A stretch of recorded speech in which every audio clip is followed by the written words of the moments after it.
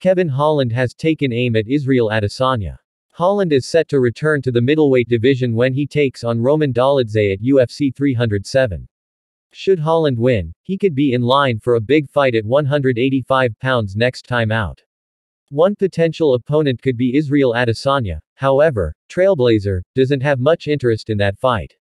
Instead, Kevin Holland believes Israel Adesanya is now boring and he would just run away from him. Not really. It would have been exciting beating him as the champ.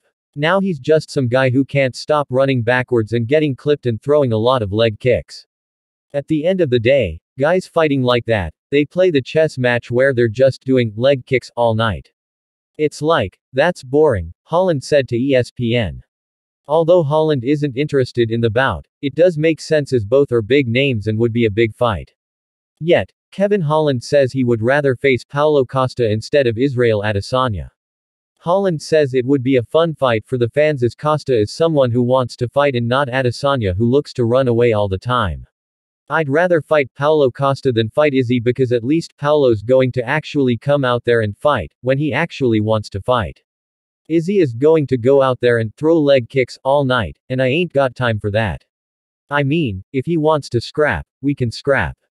It doesn't matter who it is. We can figure out something. Kevin Holland is 26 to 11 and 1 NC is a pro and coming off a submission win over Michal Oleksiejczuk. Before that, he suffered back-to-back decision losses to Michael Page and Jack Della Maddalena.